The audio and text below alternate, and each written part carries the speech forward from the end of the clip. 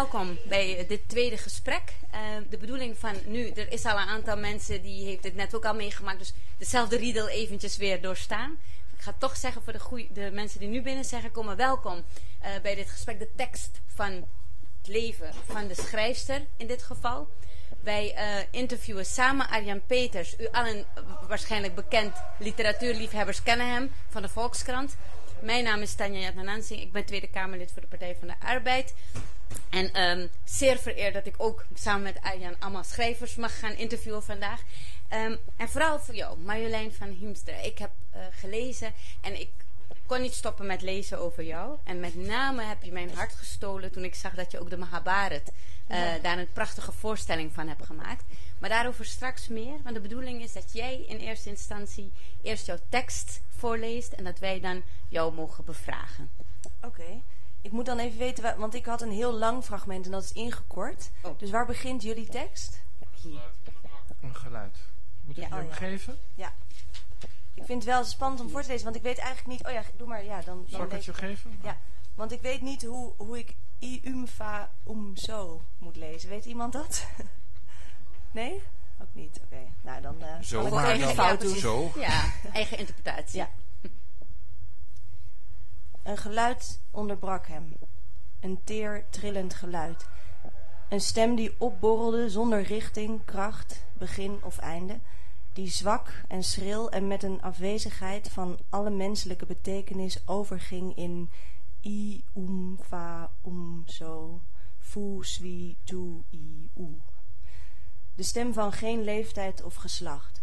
De stem van een aloude bron die ontsprong uit de aarde, die recht tegenover metrostation Regents Park voortvloeide uit een rijzige, trillende gedaante, als een pijp, als een roestige pomp, als een verwaaide, eeuwig bladerloze boom die de wind op en neer door zijn takken laat jagen en zingt i mum fa um so, fu swi tu i u en zwaait en kraakt en kreunt in de eeuwige wind. Al sinds het begin der tijden, toen het trottoir gras was, toen het nog moeras was, in de tijd van de slagtand en de mammoet, in de tijd van de stille zonsopgang, stond de afgeleefde vrouw, want ze droeg een rok, met haar rechterhand uitgestoken en de linker in haar zij geplant, te zingen over de liefde. Liefde die al een miljoen jaar duurt, soms. Hè. Liefde die overwint. En miljoenen jaren geleden had haar geliefde, die nu al eeuwen dood was, kwilde ze, in mei met haar gewandeld. Maar in de loop der tijden, lang als zomerdagen, herinnerde ze zich en vlammend van louter rode asters was hij heengegaan. De enorme zeis van de dood had die onzagwekkende heuvels geteisterd. Getiesterd staat er, of is dat het is toch geteisterd? Ja, dat is een... Uh... Typfout. Ja. ja. En toen ze eindelijk het grijze en oeroude hoofd neerlegde, nu nog slechts een sintel ijs, smeekte ze de goden een bosje paarse heide naast haar neer te leggen, daar op die hoge plek waar ze begraven lag, gestreeld door de laatste stralen van de laatste zon, want dan zou het schouwspel van het universum voorbij zijn. Hele mooie tekst. En dan is natuurlijk de vraag, je kon heel veel teksten kiezen. Je hebt ook aangegeven dat je eigenlijk dat echt moeilijk vond, deze opdracht. Uh, en toch deze tekst. Uiteindelijk zeg je, ja, dit is nou echt de tekst van mijn leven. Je, als je jouw biografie leest, dan uh, spat het intelligent idealisme eruit. En um, zegt deze tekst dat ook? Nou, wat ik zo mooi vind aan deze tekst... Ik, ik had al gezegd in de mail uh, toen mij die vraag werd gesteld, ik heb niet echt één tekst van mijn leven, want ik zou niet goed weten wat dat dan is. Het is niet als ik doodga dat ik wil dat iemand dit voordraagt, mm -hmm. terwijl ik sterf. Maar um, ik vind dit wel, dit was wel een fragment dat mij heel erg raakte, omdat, maar het komt ook door het hele boek, uh, Mrs. Dalloway. Ik denk dat veel mensen het misschien wel kennen die hier zitten. Um, het, het komt zo ineens uh, zoals Virginia Woolf dat kan. Dat, dat er ineens komt er een totaal ander personage door het verhaal heen. Dus iemand uit dat boek loopt langs het meesterstation en plotseling staat daar deze vrouw. En krijg je een soort van, alsof ineens het verhaal zo open, weet je wel, zo'n scheur in het verhaal. En je ziet zo, zo de diepte in. En, en dit gaat over nou, iemand die daar al, al miljoenen jaren staat. Uh, over tijd, over liefde. En dan ook nog zo'n ja, sorry, ik ga nu heel snel, want ik ben heel erg enthousiast over dit. Dan, ik vind het bijvoorbeeld zo, zo briljant dat je dan zo'n heel, het is heel uh, poëtisch en heel intelligent en je kan, er heel, je kan het vaak lezen en denken, wauw, er zit verschrikkelijk veel in. En dan zoiets heel grappigs als stond de afgeleefde vrouw tussen haakjes, want ze droeg een rok. Dat is dan ineens zo heel aards en simpel en nou, dat vind ik, dat is zo briljant in deze tekst. En, en het nou ja, ook dat i, um, fa, zo, dat moet je ook durven om zoiets op te schrijven. Ja, en, uh, ja dat, dat zeg maar, toen ik zelf die tekst las, dacht ik van, wat maakt dat, hè, juist ook met die klanken en het spelen. Ja. Um, jij bent zelf ook heel creatief, dus ik kom me zo voorstellen dat ik denk van, ja, zo moet je nou een tekst schrijven. Dus ook gevoel erin plaatsen. Um, um, weet je, dat je het bijna kan proeven. Ja. Je ruikt, nou, je, eigenlijk, je voelt. Ja, en hier zit eigenlijk alles in. Want er zit dus heel veel beschouwing in over, over liefde en tijd. En, en er zit humor in met zo'n gek zinnetje tussen haakjes. Er zit heel veel poëzie in. Ik vind dat het stukje van... Um, waar, waar staat dat nou? Ja, vanaf eigenlijk al sinds het begin der tijden, toen het trottoir gras was, toen het nog moeras was, in de tijd van de slagtand en de mammoet. Dat is gewoon eigenlijk een gedicht. Het is ook heel mooi vertaald, vind ik. Ja. Dus, dus, um, en, maar het is proza. En er zit dan ook nog dat gekke klankstukje in, waardoor je eigenlijk een beetje losgezongen raakt van betekenis. Dus dat, ja, er zit eigenlijk alles in, in dit uh, fragment. Voordat wij, uh, Arjan, wil jij nog een inleidende vraag of moet ik al naar het publiek? Nou, eh, wat ik me afvroeg is, uh, er zijn natuurlijk meer teksten die je dierbaar zijn, maar is dit, is dit, er, is er, dit er eentje die je uh, regelmatig opslaat? Ja. Om, om te kijken, ja, oh ja, dit is. En, ja. en dat je dan weet, uh, of dat je denkt, ja, zo, zo in, in dit zo'n ritme. Ja. Uh, kun je... Nou, vooral de vrijheid ervan. Dat is wat ik zo mooi vind.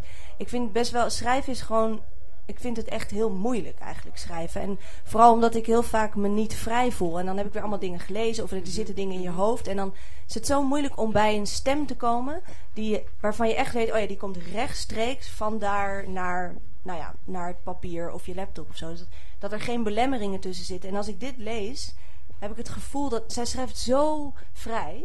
En ook als je die boeken leest, dat ze switcht van het een naar het andere personage, van de een naar de andere tijd. En dus, uh, en daar zit natuurlijk, denk ik, heel, gewoon heel veel werk in en heel veel schrappen. En het lijkt heel makkelijk. Maar dit is dus wel iets wat ik lees om te voelen van... oh ja, dat is de vrijheid die literatuur kan geven. Ja. En dat vind ik heel mooi. Maar dat is eigenlijk kenmerkend ook voor jouw eigen werk. Want in jouw eigen werk, nee, je bent heel vrij. Je doet van alles. Hè? Dus je, je speelt heel erg met teksten. Je bent continu aan het spelen. Althans, zo komt het als, bij mij over als lezer. Licht jaloers kijk ik ernaar. En denk ik, wauw, uh, wat een kunstenares ben jij met woord en spel. En je doet ook de, de, de leukste dingen. Hè? Dan gaat ze ineens, uh, vraagt ze aan iemand, ga met een gedicht de ruimte in. Dat soort toestanden. Ja. Uh, prachtig om te zien hoe je dus met, met tekst niet alleen gewoon het stijf op een papier, maar dat je het echt, je brengt het tot leven. En brengt ook in het hier en nu met social media. Nou ja, dit is een grote lofzang op jou. Reageer maar, want het, anders word ik nou, zelf lyrisch Ja, maar wat ik, dus, wat ik hier zo mooi aan vind, is juist dat het... Want ik heb, voel wel die vrijheid in mijn leven om allemaal verschillende dingen te doen... en van het een in het ander. Maar zij doet het in detail of zo. En dat er in zo'n heel, uh, het is een heel afgebakend stukje tekst... helemaal zo, eigenlijk geen woord zou je kunnen verplaatsen. Het staat allemaal, het is heel zorgvuldig opgeschreven... En dat, dus het zit heel erg vast. En daarin die enorme vrijheid. Dat vind ik zo dat, dat is mij nog nooit gelukt. Ja. Dus dat, dat bewonder ik heel erg. En ben je dan, als je zo'n, als je zo'n tekst hebt gevonden, wil, wil je dan meteen alles van Virginia Woolf lezen? Of over haar lezen?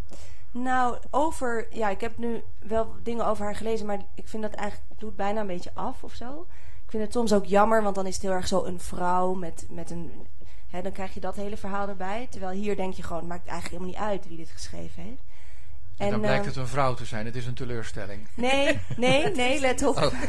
Helemaal niet. Nee, oh. dat, ik vind dat ook onzin van die mensen. Die, ik lees alleen maar mannen. Nee, vrouwen zijn fantastisch. Maar um, ik vind het jammer dat bijvoorbeeld... Of tenminste, het is gewoon heel, heel vaak als je leest over haar leven... krijg je natuurlijk dat thema van feminisme en vrouw. En dat is allemaal prima, goed thema. Maar, maar dat is dan iets anders of zo dan dit. En dit staat eigenlijk al zo op zichzelf. En dit, dit is, kunstenaarschap. Ja, dit is Zo, van zo'n groot belang dat ik dan niet hoef te weten. Uh, ja. ja.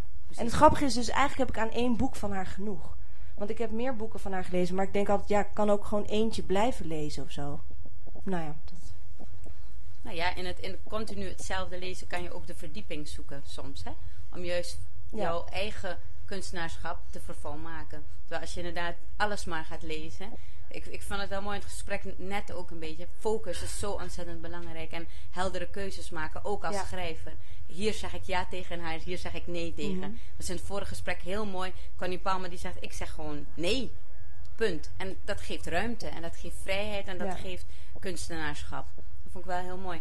Ik ga naar de zaal, want anders... Uh, zoals Arjan zegt, Al die vragen de die mooie vraag van uw leven kunt u nu stellen aan Marjolein. Gaat uw gang. Want nogmaals, wij hebben van alles voorbereid, maar de bedoeling was juist ook om u aan het woord te laten. Niemand? ik zie helemaal helder. Ja, nee, nee, nee. Ik oh. zie wel bijvoorbeeld die mevrouw daar, die, die kijkt met zulke enorme vragende ogen. Die uh, vlak voor mij. Ja, jij die zo lief lacht nu. Ja. Ja. ja. Ja, dan komen we straks weer bij jou. Dan kun je, want ik, ik, ik zie dat je een vraag hebt namelijk. je had het net over het moment dat je aan het schrijven bent, of met een papier of voor je laptop, en je hebt het gevoel dat er soms belemmeringen zijn. Mm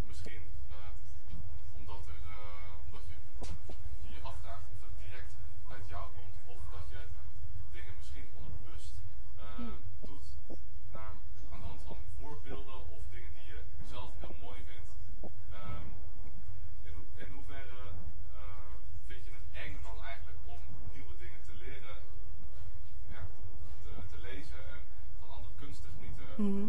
Zonder dat je eigenlijk bang bent dat je daarmee een stukje van je eigen, ja. van jezelf verliest. Op het moment dat je gaat creëren. Ja, nou dat... Um, ik heb bijvoorbeeld, als ik dit lees, niet dat ik, dat, dat me beangstigt. Ja, ik heb, er zijn wel, ik heb wel eens hoor, dat ik iets lees en dat ik denk, ja, nou ja, ik kan wel stoppen eigenlijk. Maar zo, zoiets als dit inspireert me heel erg juist omdat het zo allemaal nieuwe wegen laat zien of zo. En, en een soort van, uh, ik vind het dan zo dapper dat zij die dingen gewoon op die manier opschrijft. Dus dat is meer, of was dat niet je vraag? Ja, inderdaad, dus wat je zegt, het is meer de mindset van een kunstenaar ja. Dus de bochten die hij durft te nemen. ja.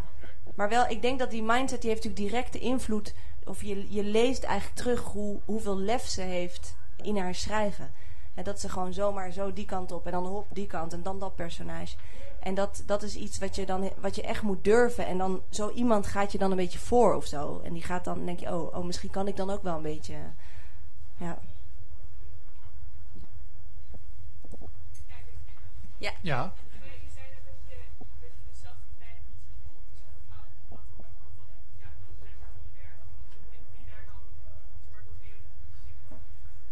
mooie vraag. Ja, dat zijn natuurlijk duizend dingen. Ik denk wat, wat jij net al zei, het, is je omgeving, uh, ding, soms ook werk van collega's wat je leest of ehm, van, van alles. Gewoon alle stemmen eigenlijk die in je hoofd zitten, die je bekritiseren. En, en die ga je dan zo, die zitten op een gegeven moment neem je die helemaal op en ga je met die blik naar je werk kijken. En um, ja, en je moet ook weten dat iets kan of zo. Daarvoor is het ook wel heel belangrijk om te lezen, omdat je ik heb eigenlijk lezend geleerd hoe je kan schrijven, zeg maar. Als je, ik had dat echt nodig. Ik moet ook heel vaak lezen om weer iets te kunnen schrijven. Je denkt, oh ja, oh zo, dat kan allemaal. Het is wel heel mooi wat je zegt, hè? dus lezend schrijven. Ehm, omdat je, ja, ik, ik vind het heel mooi dat je je hebt nu heel veel uh, uh, campagnes en toestanden hè, van jongeren moeten meer gaan lezen. Zodat hun vocabulaire beter wordt. Zodat ze ook daadwerkelijk zich beter kunnen gaan uitdrukken. Mm. En dan zeggen andere mensen, ja, dat is onzin. Ja, dat is een beetje de politica in me, sorry. Dat kan eigenlijk helemaal niet. Maar toch wil ik het even vragen. De PvdA vindt dat. Nou ja, ik vind dat. ik weet niet of de oh, PvdA dat vindt hoor. Ik vind dat zelf. Ik, ik zou het echt heel mooi vinden als juist die jongeren die nu niet aan lezen toekomen. Ook vanuit een soort perceptie van dat hoort niet bij ons. Hè. Mijn, mijn lievelingsgroep, de VMBO'er. Mm. Daar wordt vaak van gezegd, nee joh, die, die hoeven niet te lezen. Hè. Terwijl ik denk, wat een rijkdom ontzeggen we hen. Um, en eigenlijk nu door jou ben ik nog veel meer geïnspireerd. Ik denk, ja, juist als ze lezen, kunnen ze veel meer straks zelf gaan schrijven. Dus zich veel beter mm. uiten. Of is dat uh, Koeterwals van een politica die niet weet waar ze het over heeft? Nou ja, het is ook, denk ik, een, je, je legt ook een gedachteparcours af of zo van een schrijver. Dus je leert eigenlijk ook denken, volgens mij, als je leest. Of dat is wel mijn ervaring, dat je leert Toch? Ja, ik weet niet of jij dat hebt als je jij leest. Oh ja, ja, ja, zeker. nou ja, ik ben ook een beetje hardop aan het denken nu, maar waarom lezen belang? Ik heb dat gevoel dat ik leer eigenlijk over schrijven en ook leer denken of zo. En ja, en, ja gewoon alle verschillende manieren daarvan. Dus dat, dat is wel belangrijk. Ja, ja cool. Ik, ik zag daar iemand. Ja, gaat u gang. Mm-hmm. Maar ik had even een vraag over het begin van het schrijven. Je hebt er twee, twee dingen. Enerzijds staat alles vast, hè. geen woord kan je verplaatsen. Tegelijkertijd geeft aan hoeveel vrijheid ze heeft bij lezen. Dat zijn twee dingen die misschien voor iedereen wel duidelijk zijn. Maar hoe begin je schrijven? Aan je verhaal. Ja. ja. Is dat ook het begin als je aan het boek begint? Of mm-hmm.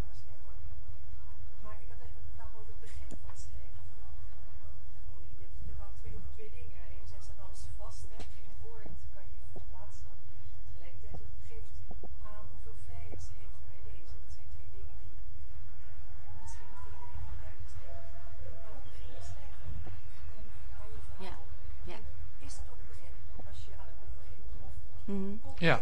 Mooi. Ja. ja. Hoe, hoe begint het? Ja. Nou, ik schrijf nu bijvoorbeeld weer veel poëzie. Ik ben bezig met een dichtbundel. Uh, dus daar heb je niet zozeer... Uh, nou, trouwens, je hebt altijd ook een begin van een gedicht en een eind. Uh, dat begint meestal met een gedachte. Of één zin, die dan heel vaak terugkomt of zo. Of ik sta ergens en plotseling zit er een zin in mijn hoofd. En die zin, die gaat langzaam... Die krijgt een soort van bed of zo. Dus die... Ja, daar groeien dingen omheen. Dus dat is niet, dat is niet altijd de beginzin. Maar... dan een boek. Ja, het is een andere concentratie. Maar ik schrijf bijvoorbeeld ook veel voor theater. En dan begint het, dat gaat gewoon als een trein. Dan zit je, ik schrijf dan vaak terwijl we ook aan het repeteren zijn. Dan zit je gewoon de hele tijd zo. En dan stel je vragen en dan doe vraag je een acteur van doe het. En dan eh, nee, hoe voelt dat? Oké, dan gaan we weer. Dus dat zijn allemaal totaal verschillende manieren van schrijven. Dus ik, kan nu, waar ik nu mee bezig ben is dus naar theater en poëzie. En bij poëzie is het echt uh, soms of een ritme of zo. Of een ne, ne, ne, denk, oh, uh, en dan komt daar een woord bij en dan, en dan zo groeit dat. En met theater is dus gewoon kijken, reageren zo, over en weer. En die, die tweede dichtbundel, die, daar zeg je dat je daarmee bezig bent? Ja. Want, ja, ja nee, maar want hij was uh, hij aangekondigd, Hij is al heel lang aangekondigd, ja. Maar, maar, hij is uitgesteld. Hij komt in uh, eind maart of begin april. Hij is ja, bijna snel, klaar. Dus. Ja. ja. En, en heb je daarbij ook, bij dat schrijven, de, de, dat je af en toe de, de vrijheid of de durf die je bij Virginia Woolf ziet, dat je denkt, ik mag me misschien meer toestaan dan ik uh, soms denk. Ja, nou dat was bijvoorbeeld, ik dacht eigenlijk dat ik hem af had. En toen had ik zelf het gevoel van, oh ja, ik heb die vrijheid niet genoeg genomen. En ik wilde bijvoorbeeld heel graag nog een dialoog in. En dat is ook een reden waarom die nu nog niet is uitgekomen. Want ik heb nu gewoon geen tijd om verder te schrijven. Maar ik wil dus nog een, wat nieuwe vormen proberen, in ieder geval. Dus hij, die bundel ligt eigenlijk te wachten tot ik weer met iets nieuws kom. En dat, uh, dat we in Nederland uh, toch heel vaak vinden dat je één ding moet doen, hè? Ja. Je, je schrijft, ja. of je schildert, of je ja, acteert, je maar je gaat maken. niet. Ja. Ja. Of als je alle, van allebei een beetje doet, dan ben je eigenlijk... Mm -hmm. Je moet ook zeggen wat je eigenlijk bent. Ja, dat vragen mensen ook altijd. Ja. ja. En wat en? zeg je dan? Zeg, eigenlijk ben ik Marjolein. Nee, dat is heel flauw. Dat, ik weet niet. Ik heb geen... Uh... ik vind het wel een leuk antwoord. Dat lijkt me een prachtig... Besluit. Ja. Dit was Marjolein. Dankjewel. Prachtig. Ten volle. Hartelijk dank.